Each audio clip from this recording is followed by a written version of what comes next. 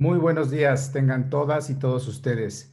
Es realmente para mí un verdadero gusto poder saludarles. Tenemos en este contexto del primer aniversario del, Tratado de Libre Comercio eh, y también el vigésimo aniversario de nuestra agencia sanitaria COFEPRIS, pues un marco extraordinario para obtener esta conversación sobre las responsabilidades de nuestra agencia sanitaria y sus compromisos ante justamente esta serie de, tratados y de acuerdos internacionales que México tiene con el resto de los países. Es para mí un verdadero gusto poder eh, tener esta mesa que a continuación vamos a escuchar con un grupo de expertos encabezados desde luego por Roberto Morales, quien amablemente ha aceptado participar en esta mesa y desde luego nuestros expertos en la materia. Y para ello me gustaría presentar de primera mano a nuestro moderador, el licenciado Fernando Portugal Pescador, quien es nuestro director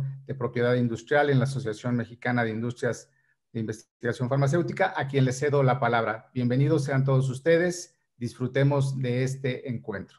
Bienvenido, Fernando, el micrófono es tuyo.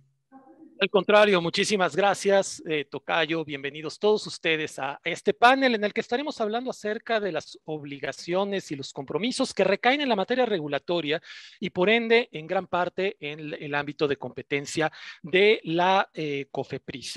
En primer lugar, quisiera comenzar con una breve reflexión respecto a la relación que existe entre la innovación y el derecho a la salud y entre el acceso a la salud.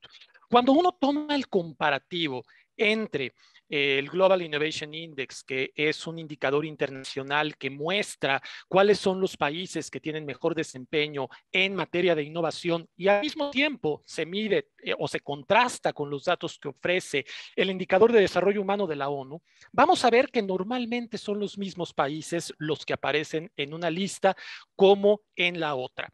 Eh, pareciera que esta información nos deja entrever, nos sugiere que existe una relación entre la capacidad de los países para innovar y para proteger la innovación, también con la de proteger y mejorar las condiciones generales de salud.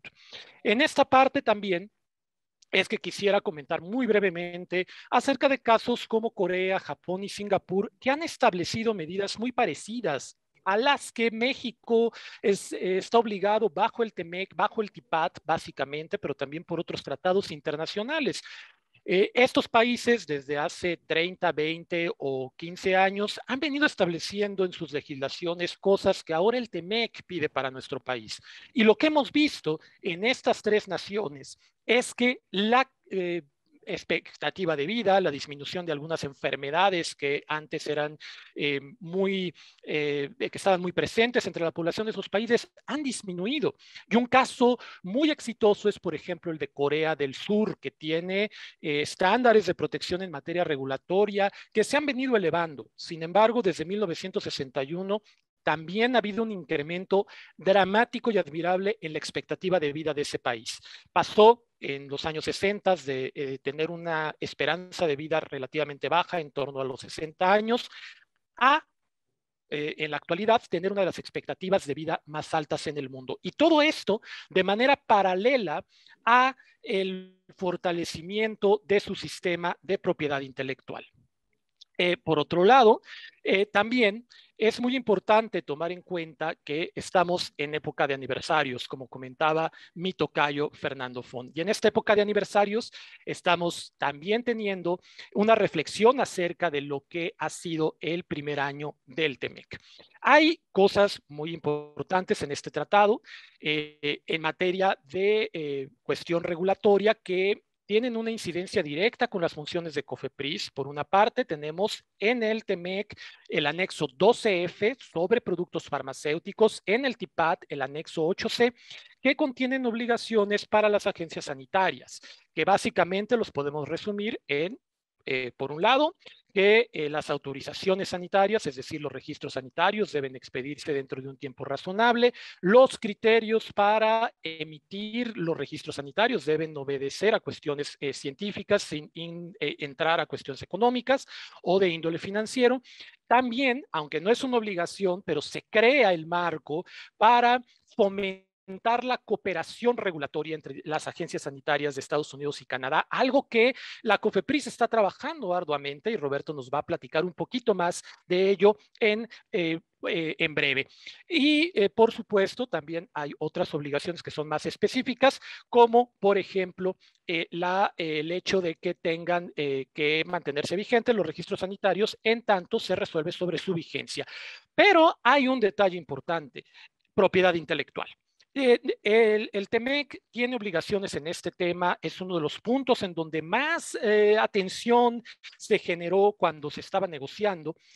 Eh, lo normal, y es una cuestión completamente natural, es pensar que las obligaciones en propiedad intelectual recaen en el INPI y el INDAUTOR. Y así es en cuanto a la mayor parte. Sin embargo, hay ciertas obligaciones que también tienen incidencia en la competencia de otras dependencias. Por ejemplo, la SAGARPA, eh, a la que pertenece el, Servicio Nacional de, semillas, no dije bien el nombre, pero las iniciales es SNICS, eh, tienen que ver con la protección y registro de las variedades vegetales y por supuesto también la COFEPRIS tiene una materia importante relacionada con los derechos de propiedad intelectual. Muchas de las obligaciones que hay en esta materia ya están vigentes desde, desde 2020, desde hace un año que entró en vigor el TEMEC, pero otras eh, tendrán que estar implementadas a más tardar en 2025. No necesariamente hasta esa fecha, se puede adelantar, pero en su caso tenemos ese límite. Esto cobra especial importancia, puesto que a diferencia de otros tratados, el TEMEC va a tener una revisión en 2026 en la cual se decidirá no es la última oportunidad, por supuesto, para hacerlo, pero desde ese momento ya se podrá decidir sobre la prolongación de la vigencia de ese tratado que originalmente terminaría en 2036. Pero bueno, sin mayor preámbulo, eh, daría, eh, daría ya entrada a la exposición por parte de nuestros invitados del día de hoy. Y tengo el gusto de presentarles en primer lugar a Roberto Morales. Él es el subdirector de la Dirección eh, de, Asuntos Internacionales dentro de la COFEPRIS. Él es eh, maestro en economía por el CIDE y también por la Universidad Panamericana. Bienvenido, Roberto. Es un placer tenerte aquí. Y eh, lo primero que quisiéramos tratar es en el marco del primer aniversario del TEMEC, en el vigésimo aniversario también de la COFEPRIS que estamos conmemorando en esta semana, ¿qué nos podrías decir acerca de cómo ese tratado y otros compromisos internacionales han impactado y continuarán haciéndolo a la labor de la COFEPRIS? Adelante, Roberto, por favor. Hola, ¿qué tal? Muy buenos días a todos. Este, ¿Sí me escuchan todo el mundo? Perfectamente, Roberto. Perfectísimo. Bueno, antes que nada, este, muchísimas gracias a todos. Este, muchísimas gracias a, Fernando, a los dos Fernandos por la invitación. Este, y pues es un gusto aquí estar con ustedes y espero que lo que les venga a platicar, bueno, les quiero platicar un poquito, algo un poquito más amplio, no tanto enfocarme en TEMEC, sigo, si vamos a tocar el tema un poco, pero hoy quisiera platicarles un poquito de la estrategia que estamos tratando de implementar, que estamos implementando, de hecho, aquí en COFEPRIS, y, este, y esto tiene mucho que ver con eh, un, un, término que últimamente eh, hemos traído muy en boga aquí al interior, que es el reliance. Y me interesa mucho platicarles esto porque a fin de cuentas todo lo que se está haciendo, incluso dentro del, marco de los tratados, se, se, va a estar englobando dentro de, de este concepto, ¿no? de, este, de, este, de este pilar que, que, nos está guiando eh, hoy en día. Este, ¿Me pueden apoyar con la siguiente diapositiva, por favor? Bueno, primero vamos a empezar por lo primero. ¿no? ¿de, qué estamos hablando cuando hablamos de, reliance? El reliance básicamente es poder utilizar las decisiones de otras agencias al interior de la nuestra. Ahora, esto no quiere decir que nosotros cedamos toda la decisión a, una tercera agencia, ¿no? Sino, por ejemplo, nosotros, este, este reliance lo que nosotros queremos hacer es confiar, como, como la palabra lo indica, es confiar en lo que está haciendo alguien más puede ser otra agencia o a lo mejor puede ser algún, este, algún lineamiento de algún este, foro internacional. Pero lo que nosotros hacemos es, por ejemplo, si alguien ya, eh, digamos, aprobó, en este caso, como ha estado muy, muy de moda con, lo, con, con el COVID, una vacuna, dice, bueno, nosotros no tenemos el tiempo como para poder estar esperando a, a que nosotros hagamos todo el proceso de evaluación. Entonces, lo que nosotros es, decimos, bueno, de lo que ya se hizo, de los estudios que ya se han hecho, de todo, de las agencias que ya le dieron registro y autorizaciones a estas vacunas, nosotros en dónde nos podemos apoyar, qué cuáles de los elementos que ya tenemos podemos nosotros tomar como válidos y a partir de ahí construir o terminar nuestro proceso de registro, ¿no? Y en este sentido, eh, es que, que, estamos guiando nuestra estrategia en este sentido. Queremos fortalecer el reliance. ¿Por qué? Porque no podemos irnos directamente a confiar en cualquier agencia, no podemos ir a, a confiar en, este, en cualquier organismo o en cualquier lineamiento. Tiene que haber una relación de reciprocidad, tiene que haber una relación de confianza. Y disculpen la repetición, pero este es el concepto clave, ¿no? Nosotros trabajamos de la mano con varias agencias, múltiples agencias con múltiples países, con múltiples este, foros, y, lo que y, y, a lo largo del trabajo se van compartiendo experiencias, se van compartiendo, se va profundizando la relación, se generan este, algunos acuerdos de colaboración, algunos acuerdos de, de ¿cómo se dicen? De confidencialidad. Y, este, y conforme se va fortaleciendo la, la relación, nosotros podemos ir viendo en dónde más podemos ampliar esta cooperación. Y en este sentido, el reliance va muy de la mano con otros dos conceptos. Uno que es la convergencia regulatoria y otro que es la armonización regulatoria. Ahora, en términos de, la convergencia, eh, esta puede darse a través de modificaciones, digamos, de los parámetros técnicos. Normalmente se hace con base en algún estándar internacional y a partir de ahí dices, bueno, yo no puedo modificar a lo mejor mi regulación porque el proceso legislativo es difícil o porque es complicado o tardado, pero sí puedo ajustar algunos de mis criterios técnicos. La armonización, en contraparte, sí implica esta modificación normativa, ¿no? Entonces, nosotros podemos, estos tres conceptos van interactuando el uno con el otro. Por ejemplo, yo, por ejemplo, puedo ir haciendo una convergencia, a lo mejor sin modificar tanto mi regulación, digamos, y me voy alineando, digamos, a los estándares de, digamos, de la Organización Mundial de la Salud. Y a partir de esa convergencia, este, yo me pude acercando con otras agencias y decir, oye, pues mira, yo ya más o menos tengo algo parecido por aquí. Este, a lo mejor por aquí podríamos empezar como a trabajar un poco más de la mano. Y o bien podría ser que, que se hiciera una armonización y a partir de ahí este, también podríamos decir, oye, me puedo acercar también más.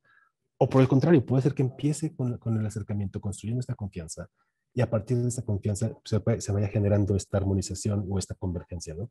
¿Nos podemos seguir a la que sigue, por favor? Ahora, este, básicamente, rápido, para no tomarme mucho tiempo de la presentación sobre esto, eh, el Reliance está basado básicamente en cinco grandes principios, que son soberanía, transparencia, consistencia, competencia y una base legal, y una sólida base legal, ¿no? Básicamente lo que estamos diciendo es, este, los principios, la decisión siempre va a ser, en términos de soberanía, la decisión siempre va a ser de la agencia reguladora que está aplicando el Reliance. La transparencia, a fin de cuentas, todo proceso tiene que estar basado en esa transparencia. No podemos tratar como de implementar una nueva medida y a fin de cuentas este, retrasar, este, ocultar algo o, guardarnos algo. todo el proceso tiene que ser transparente, no solo con la otra agencia o con el otro foro, sino, sino con todos los, este, los stakeholders que, que, de repente interactúan en estos procesos. Ahora, no se puede aplicar Reliance eh, de forma inconsistente en el sentido de si se lo aplicas a un producto, este, a, a un tipo de productos, no puedes decir, bueno, dentro de ese tipo de productos se lo aplico, digamos, a uno sí y a otro no. O sea, se tiene que hacer de manera consistente para todos los productos a los que se les pueda aplicar. Ahora, la competencia tiene que ver con, la, que se cuenten con los, con los este, mecanismos y las herramientas adecuadas para poder implementar, en el sentido de, yo no, por ejemplo, yo no puedo aplicar Reliance si, si mi marco legal no me lo permite. Y por, bueno, creo que me estoy brincando. Y por último, esta base legal, justamente esta base legal tiene que darte el, el, principio para poder aplicar Reliance. Si, si, tu marco normativo no está ajustado a este Reliance, no vas a poderlo aplicar. Y a fin de cuentas, se implementa mucho este Reliance porque tiene cinco beneficios, digo, tiene varios, pero cinco son como los más importantes que más nos interesan, ¿no? La primera es que nos facilita la autorización más rápida. Y creo que eso es lo que, se, que en esta pandemia ha quedado muy de manifiesto, que necesitamos poder reaccionar de forma ágil y rápida y flexible. Porque no podemos estar esperando a que se lleve a cabo todo un proceso para poder permitir el acceso de un medicamento que puede salvar vidas. Ahora, una vez que se aplica el Reliance y que se está aplicando de forma consistente, los recursos se pueden asignar a otras áreas y entonces puedes, digamos, desahogar este, a cierta parte del proceso y destinar estos recursos hacia algún otro lugar. Asimismo, este, eso te permite que cuando se genera un, medicamento innovador, volvemos al ejemplo de las vacunas porque es muy evidente, cuando se genera un medicamento innovador, un, un, mecanismo de Reliance siempre te va a permitir que la población pueda acceder a él más rápido y sobre todo que pueda acceder a él en el tiempo que lo necesita. Como tienes este mayor acceso, a fin de cuentas tienes un menor riesgo de que se te presente algún desabasto pero a fin de cuentas la, esta velocidad no sacrifica ni la seguridad, ni la eficacia, ni la calidad de los medicamentos. Por eso es que estamos nosotros ahorita como tan convencidos de que este principio, este reliance, es nuestra base hacia futuro para todos los pasos que se sigan dando en términos de, de hacia dónde queremos dirigir a, la COFEPRIS. La siguiente, por favor. Bueno, este, aquí lo que les comentaba hace un ratito, COFEPRIS ahorita, hoy en día, tiene eh, algún tipo de relación con al menos 40 eh, países y poco más de 26 organismos internacionales. Y estamos trabajando todavía para fortalecer más, tanto en términos de organismos como en términos de otras agencias. Queremos fortalecer más esta, nuestra red de colaboración. Queremos pues, que seamos una agencia sólida, queremos ser una agencia de referencia a nivel internacional. ¿Nos podemos brincar también a la que sigue, por favor? Y bueno, voy a empezar un poquito con cuál es nuestra estrategia actual. Ahorita nuestra estrategia actual de Reliance tiene básicamente tres aristas principales en las que estamos enfocando la mayor parte de nuestros esfuerzos.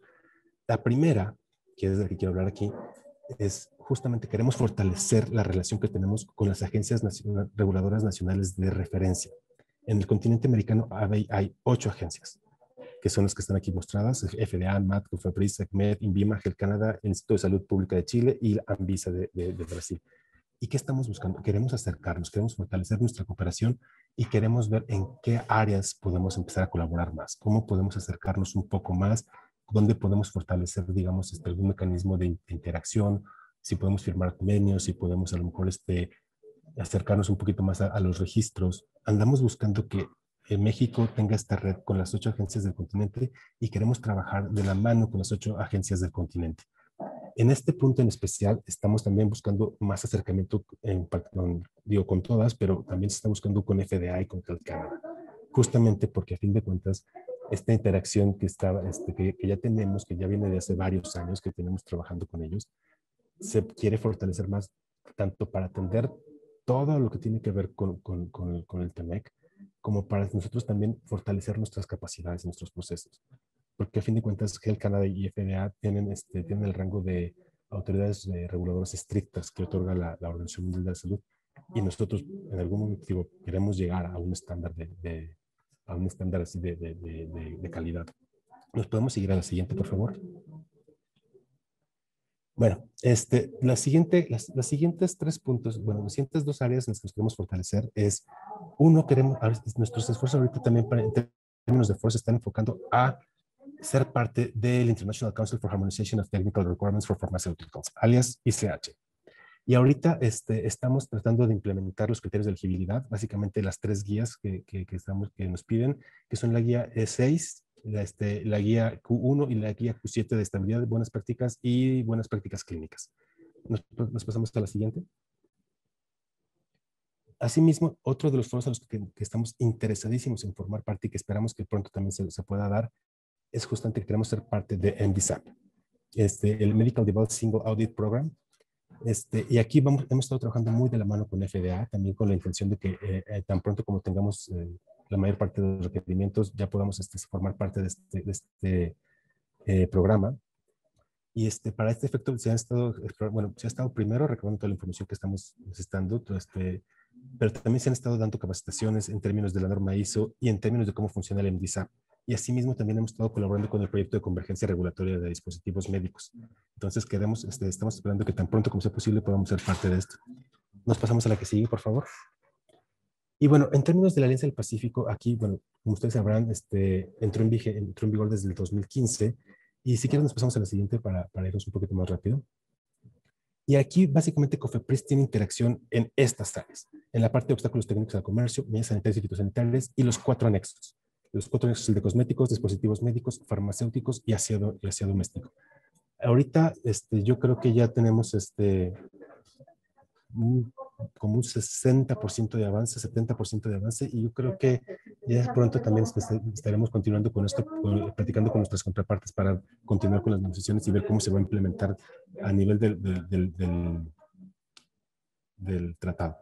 Nos pasamos por último a la siguiente. Bueno, Dos más, dos más, por favor, perdón. Es la parte del vigor, pero nos podemos seguir a la siguiente.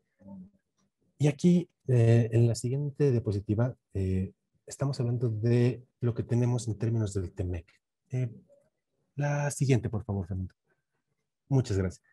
Aquí la participación de COFEPRIS también está enfocada en cuatro capítulos. O sea, el capítulo 9, el que es medidas sanitarias y sanitarias, obstáculos técnicos al comercio, los anexos sectoriales, y creo que el capítulo que todos, este, que todos nos interesa más, que es la parte de propiedad intelectual, ¿no?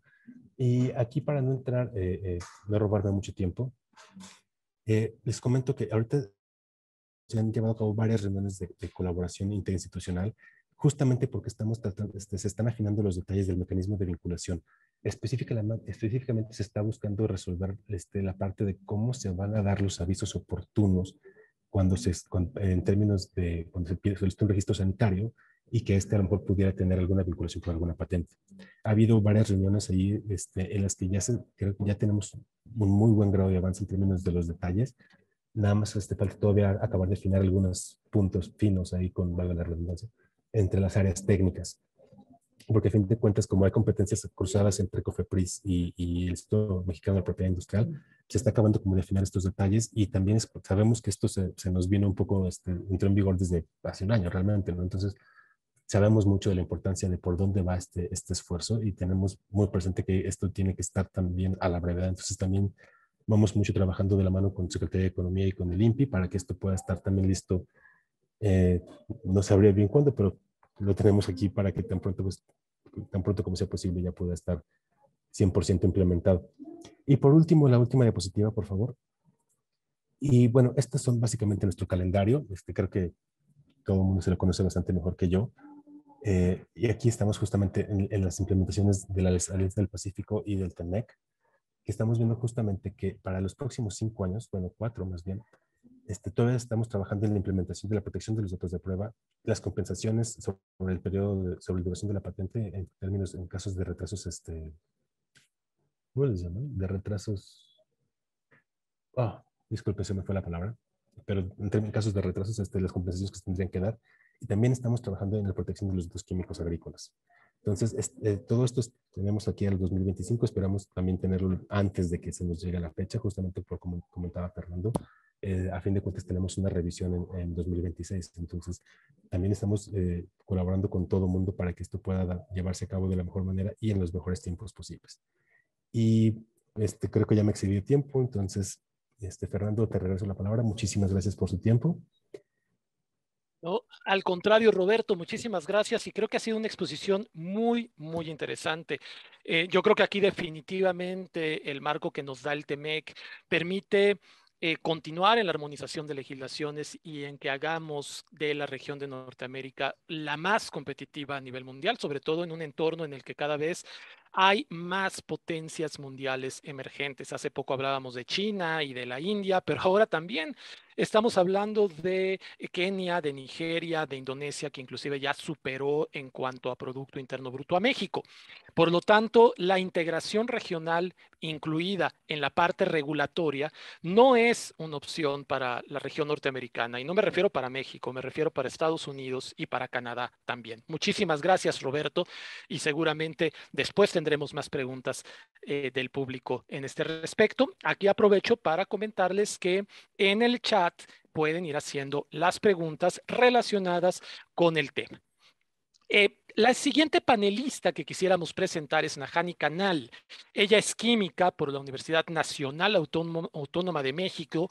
Actualmente se desempeña como directora de gestión de expedientes en Clark Modet, pero hasta 2019 ella fue la directora divisional de patentes en el INPI y en esa calidad tuvo una participación muy activa en la negociación del tratado que sucedió al Telecan, es decir, el TEMEC. Y en realidad, pues comenzó su labor negociadora desde 2012, cuando México se unió a las negociaciones del TPP, que ahora lo conocemos como el TIPAT.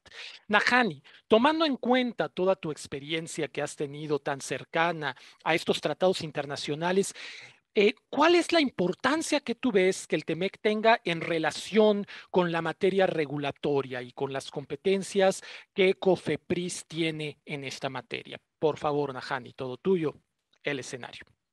Buenos días. Muchas gracias por la invitación. Es un gusto estar aquí con ustedes por favor, la segunda diapositiva. Les quiero platicar un poquito la estrategia que tuvo este equipo negociador, porque como pueden apreciar en los últimos cuatro tratados internacionales muy importantes, pues se tuvo eh, por parte de la Secretaría de Economía que eh, eh, encontrar los factores necesarios para que salieran adelante. El primero fue consolidar un equipo de expertos, pues como pueden ver, prácticamente hubo negociaciones durante varios años.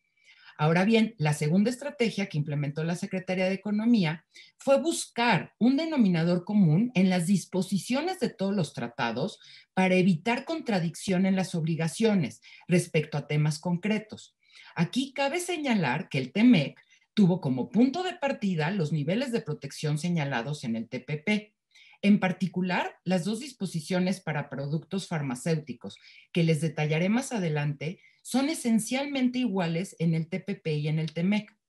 El tercer reto fue buscar un capítulo de PI equilibrado, particularmente en temas sensibles como patentes y protección a productos farmacéuticos. Para el caso del TEMEC, el 50% de las disposiciones ya se tenían en el sistema de propiedad industrial en México. El 25% de las obligaciones requerían alguna modificación en la legislación nacional y el restante 25% de las disposiciones sí requieren implementación. De manera que este, esto se, plasma en la nueva Ley Federal de Protección a la Propiedad Industrial, eh, que apenas entró en vigor en noviembre del año pasado, la cual, en mi opinión, presenta ventajas adicionales a la implementación del TEMEC, pues hubo un cambio radical en la estructura se incluyen definiciones, conceptos, criterios que el INPI ya había utilizado por muchos años y que realmente corresponden a las mejores prácticas a nivel internacional. En conclusión, es más amigable esta ley para el usuario. Además, cabe señalar que la novena edición del Índice Internacional de PI, publicado este año, señala que México presentó el segundo mayor incremento en el ranking de 53 economías por los cambios legislativos en PI derivados de la implementación del TEMEC. Entonces llegamos a la pregunta, ¿por qué existen los derechos de propiedad intelectual? La respuesta básicamente versa sobre tres factores. Primero, son un derecho natural. Todas las personas tienen un derecho sobre el producto de su trabajo y la propiedad intelectual es parte del reconocimiento a ese derecho.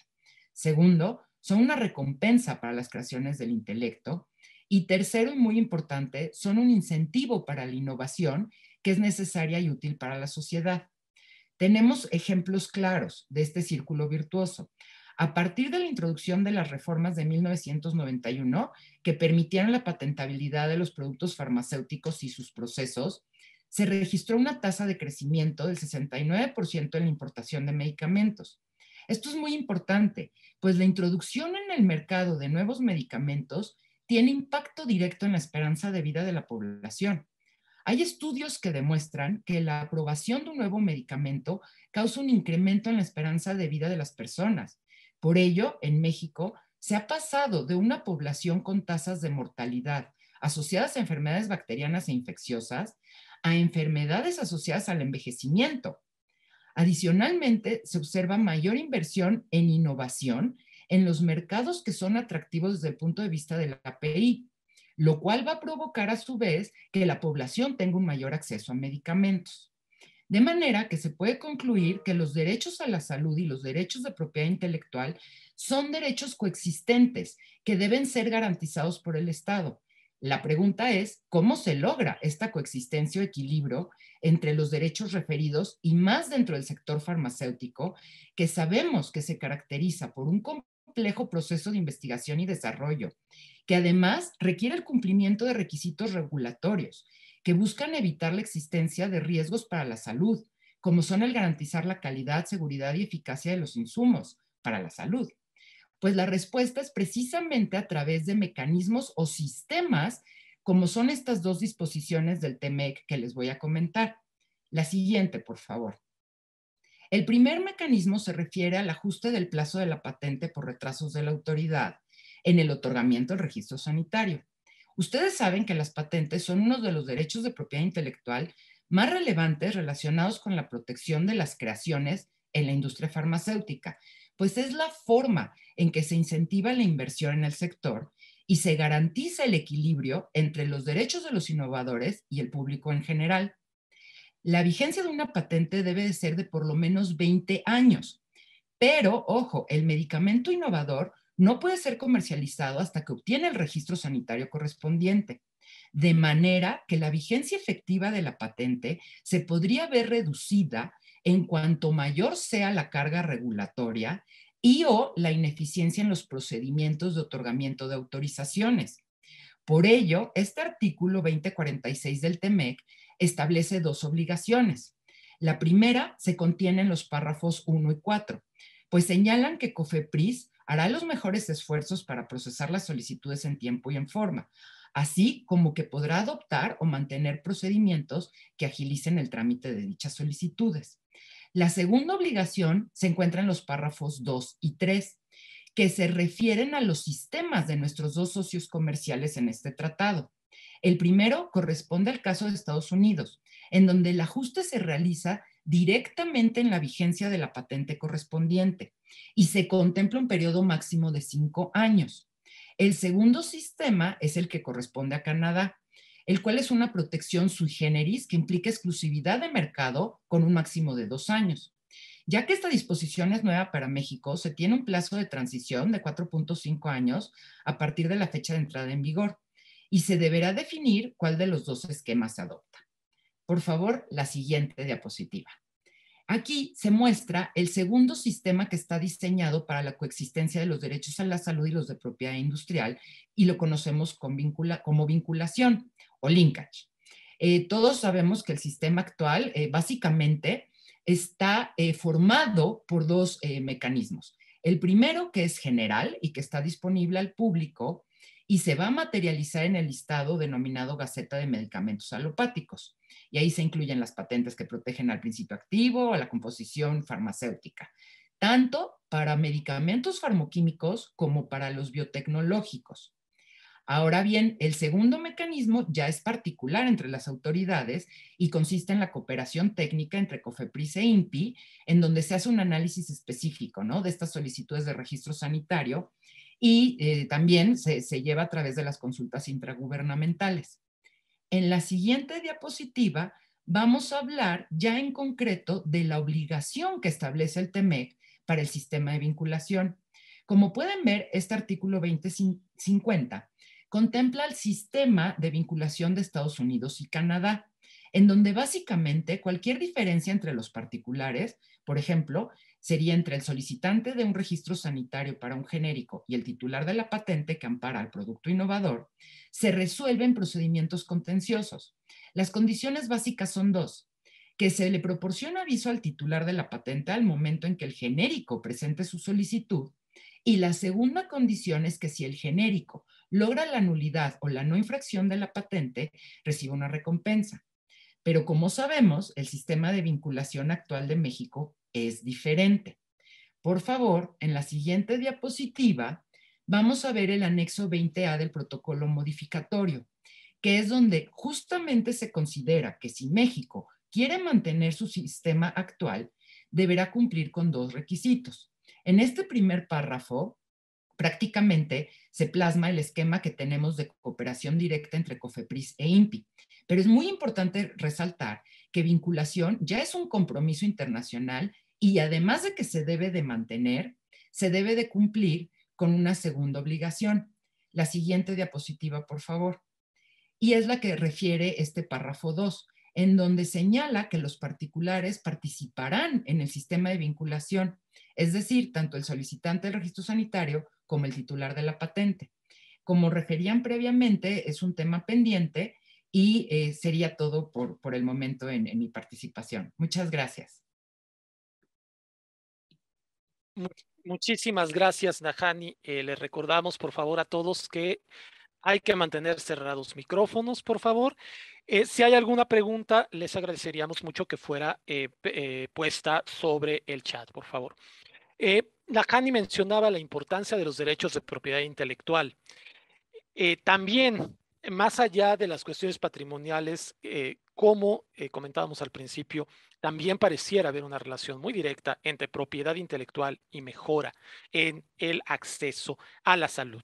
Y esta parte creo que también es bien importante, ¿no? Más allá de promover la inversión, de promover un clima adecuado de inversión, la protección con altos estándares a la innovación no solamente en materia farmacéutica, también en otros aspectos, puede contribuir de manera significativa a que las condiciones de salud pública en un país mejoren de forma categórica. Nuestro siguiente ponente es Alejandro Luna. Él es doctor por la UNAM. Recientemente tuvimos la doctor en Derecho por la UNAM. Tuvimos hace pocos meses la fortuna de estar allí en su examen profesional, en donde, bueno, más bien parecía este, eh, una conferencia magistral en donde los... Em, en donde todos los expertos de la UNAM que formaban parte del sínodo en realidad estaban conversando con, con el experto que es Alex. En este caso, eh, queremos eh, destacar su participación en el cuarto de junto, que es el órgano del sector privado que participa en las negociaciones internacionales. Y al igual que Nahani, pues Alex estuvo muy cerca de todo este proceso, no solamente del TEMEC, sino también del TPP, o sea que ya prácticamente son nueve años de negociación, pero desde la trinchera, desde la visión del sector privado, del sector innovador, a través de este órgano tan importante que es el cuarto de junto. Eh, Alex también es el eh, socio en uno de los despachos más importantes que tenemos en propiedad intelectual aquí en México, Olivares.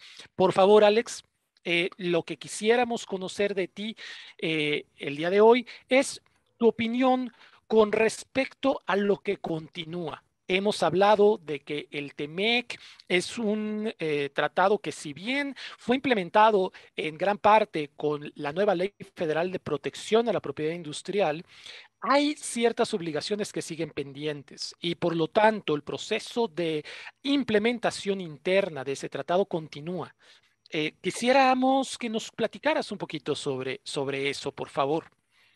Muchísimas gracias, Fer. Muchísimas gracias por, por la amable presentación. Este, muchísimas gracias a los organizadores por, por, la, por la invitación este, para celebrar este primer aniversario de, de, de TEMEC y, de forma conjunta con los 20 años de, de COFEPRIS.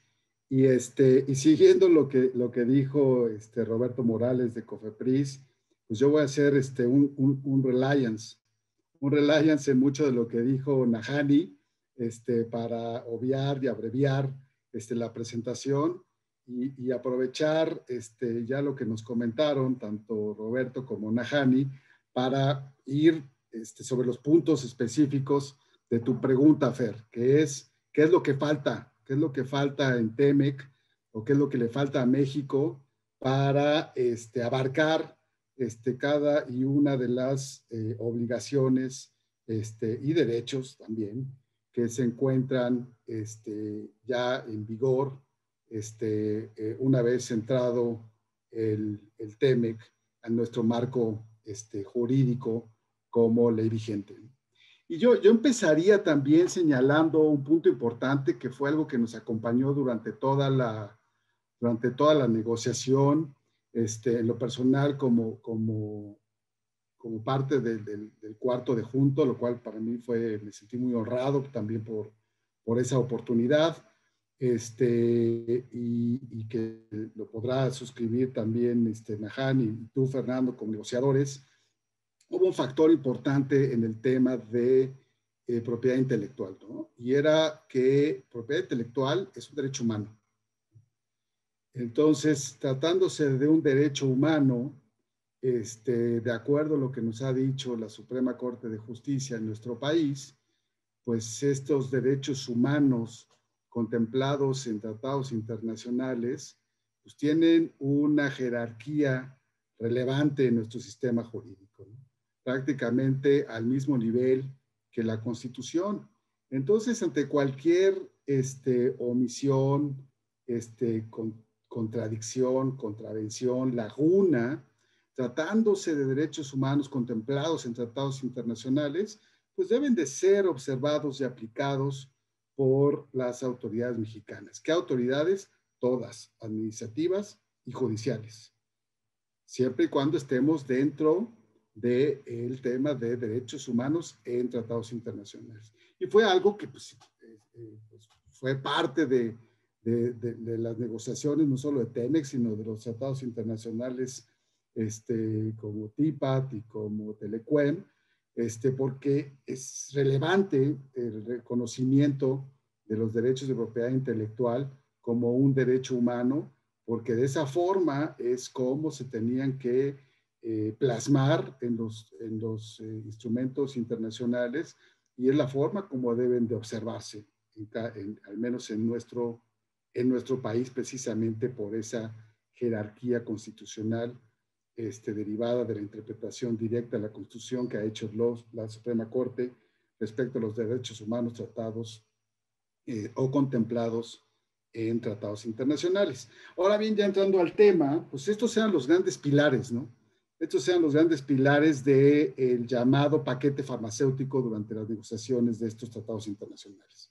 Una parte de patentabilidad, este, sobre todo la parte relacionada con, los, con la patentabilidad de los, de los nuevos usos de productos este, conocidos, este, las patentes este, relacionadas con plantas, compensación de vigencia regulatoria y por el trámite de la patente, el linkage que ya nos tuvo a bien este, explicarnos este, Nahani y la protección de datos clínicos. Estos eran los grandes pilares eh, o temas del llamado paquete este, de patentes farmacéuticas que curiosamente fueron de los, de los últimos puntos en terminar eh, de negociarse tanto en TEMEC este, como en TIPA, por derivado de la complejidad del mismo. Este, y pues empezando por el, primer tema, el de, de nuevos usos de productos conocidos, pues ya nuestra Ley Federal de Protección a la Propiedad este, Industrial, que entró en vigor el 5 este, de, de, noviembre del año pasado, pues ya se reconoce la, la patentabilidad de estas invenciones. Y eso es resultado nada más de que de la práctica, de la práctica del propio Instituto Mexicano de la Propiedad Industrial, que durante, durante muchos años pues, ha eh, coincidido en la patentabilidad de estas invenciones, además de ciertos principios también establecidos en otros tratados internacionales desde el Convenio de París, de que no puede haber una discriminación de materia patentable solo por el hecho de pertenecer a alguna rama de la ciencia o de la técnica. Existe un principio de no discriminación de invenciones siempre y cuando se cumplan con los requisitos de eh, patentabilidad, ¿no? que sea nuevo, que tenga una actividad inventiva y que tenga una aplicación industrial. Entonces, pues ahí tenemos ya la primera palomita en el tema de los nuevos usos como materia patentable. Este, el tema de invenciones relacionadas con plantas, también ya tanto nuestra tanto los tratados internacionales como Telecuen, como TEME, que están recogiendo esta posibilidad. Este, y un tema importante de los, de los, de los que quedarían este, pendientes es el tema de la compensación de vigencia por retrasos regulatorios. El del retraso del trámite de la patente ya está contemplado en nuestra nueva ley ya existe todo un capítulo y todo un mecanismo que estará este, sujeto pues, a prueba de, tanto de su eficacia y eficiencia, este, con los candados correspondientes para evitar abusos, este, para que exista un sano, un sano proceso para eventualmente este, poder obtener esta compensación de vigencia si es que la autoridad este, eh, de patentes, el INPI, se retrasa en su otorgamiento y eso evidentemente, como nos dijo Nahani, pues puede impactar en ese derecho exclusivo que se reconoce en una patente de 20 años a partir de su solicitud. Sin embargo, el que queda pendiente, porque existe un periodo transitorio de 4.5 años, así lo dice TEMEC, es el retraso por una, eh, eh, un retraso en, en la aprobación sanitaria también la autoridad sanitaria podría retrasarse y podría impactar este, e, este, este derecho exclusivo. ¿Por qué? Porque el derecho exclusivo se materializa una vez que el producto está en el comercio y si no existe la aprobación, pues no se puede materializar esa, esa exclusividad. Este, también durante las negociaciones se comentó ampliamente los esfuerzos que han hecho tanto el Instituto Mexicano de la Propiedad Industrial como la COFEPRIS para reducir estos tiempos, tanto el otorgamiento de una patente como de un registro sanitario. Fueron temas que se pusieron en la mesa y se reconocieron esos grandes esfuerzos que se han hecho por las dos autoridades para disminuir los tiempos, pero consideramos que siempre es importante tener esa posibilidad de que en casos de que exista este retraso, esta dilación, tanto en el otorgamiento de la patente como el registro sanitario, pues se den esas compensaciones para que con, el único fin de que este derecho exclusivo, pues evidentemente sea eficiente, sea eficaz y cumpla con su función de ser un incentivo para, para la innovación y de recuperar la inversión en la investigación y desarrollo. Entonces ya tenemos una palomita en el tema de el retraso por parte de eh, la autoridad de patentes. Este, sin embargo, eh, queda pendiente el tema regulatorio. Ahora, este periodo de transición no son periodos máximos, eso sí también me gustaría destacar. No quiere decir que la autoridad o que México tenga que esperarse a este 4.5 años a partir de la entrada en vigencia del TEMEC para implementar esta figura. Este, es un, es un, es un término del que después de, este, de estos 4.5 años, pues sí, México estará ya eh, eh, en sanción si no cumple. Pero podemos en una buena práctica establecer la figura desde antes, como país. Entonces, este, no es necesario esperarse este 4.5 años. Este, respecto al sistema de vinculación, pues tenemos sistema de vinculación en México. También hubo una gran labor de los negociadores mexicanos por, este, de parte de la Secretaría de Economía y del INPI, por mantener el sistema de vinculación en México. El, el, sistema que tenemos en México, no el sistema americano o el sistema canadiense, que es, es, es mucho más complejo, mucho más contencioso, mucho más litigioso este, México logró incluir en TEMEC como en TIPAT el sistema de vinculación en México que está vigente desde el, desde el 2003 y que ha aprobado este, evitar la violación de patentes mediante el otorgamiento de registros sanitarios. Antes de este sistema, pues COFEPRIS prácticamente estaba dando pues, licencias para infringir patentes y, este, y, antes del sistema había más de 20 este, medicamentos, solo de, principios activos siendo violados por muchas este, compañías nacionales a través de los registros sanitarios. Entonces el sistema ha probado su eficiencia y su eficacia, pero ¿qué es lo que le falta al, al sistema? A este sistema, y lo, lo dijo Nahani en su, en su presentación, este, eh, este es básicamente en este cuadro se establece cómo, cómo funciona el sistema de vinculación, las obligaciones del INPI, las obligaciones de COFEPRI, las obligaciones del solicitante de un registro sanitario, este, la publicación que debe hacer el INPI cada seis meses con las patentes vigentes, este, eh, COFEPRIS debe observar el listado, pedir informes al INPI, el solicitante deberá declarar bajo protesta de decir verdad que no invade ninguno de los derechos de propiedad industrial, y ahí estamos más básicamente cómo funciona el sistema. ¿Y qué es, qué es lo que falta ahí? Pues el titular de la patente. El titular de la patente no aparece en ninguna parte del sistema hasta el día de hoy. Hasta el día de hoy no aparece en ninguno de los artículos que nos, establó, que nos señaló Nahani del reglamento este, de la ley de la propiedad industrial y del reglamento de insumos. En ninguna parte aparece el titular de la patente. Entonces, lo que hace TEMEC, y también por ahí hay un precedente judicial que así lo estableció, no hay garantía de audiencia al titular de la patente del sistema de vinculación. Entonces, este es uno de los temas pendientes este, que tendrán que incluirse en nuestro sistema de vinculación, esta audiencia al titular de la patente. ¿Cuál será la mejor forma de hacerlo? Pues evidentemente que COFEPRIS y el INPI deberán este, ponerse de acuerdo para incluir esta posibilidad del titular de la patente de saber que es, su patente está eh, citada o señalada en un trámite de un registro sanitario por aparecer en la Gaceta de Medicamentos Alopáticos. Entonces, ese es uno de los temas pendientes.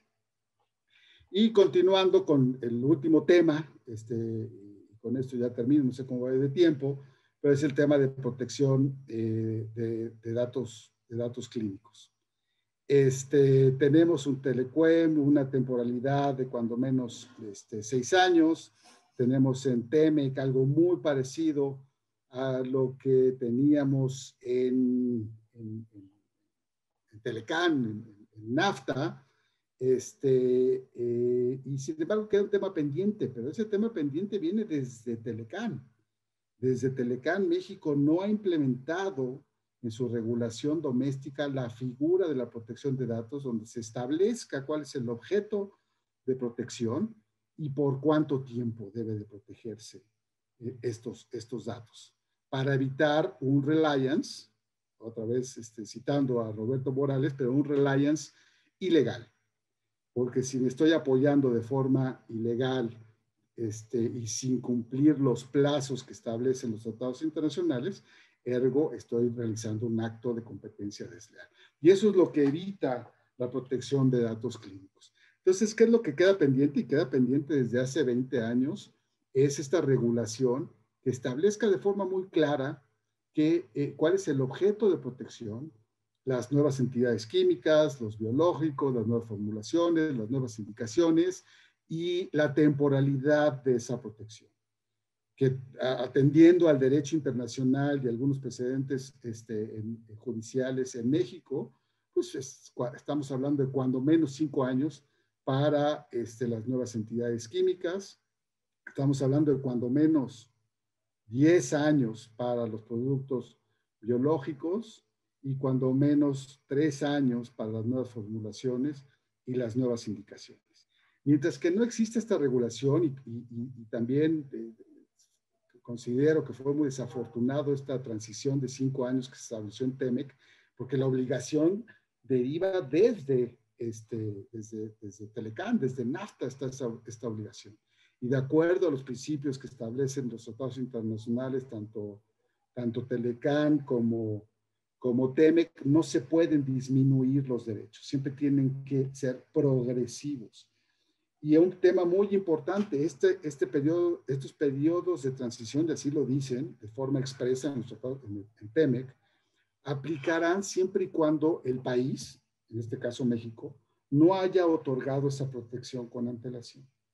Pues resulta que nuestro país ya otorgó esa protección a través de las resoluciones judiciales.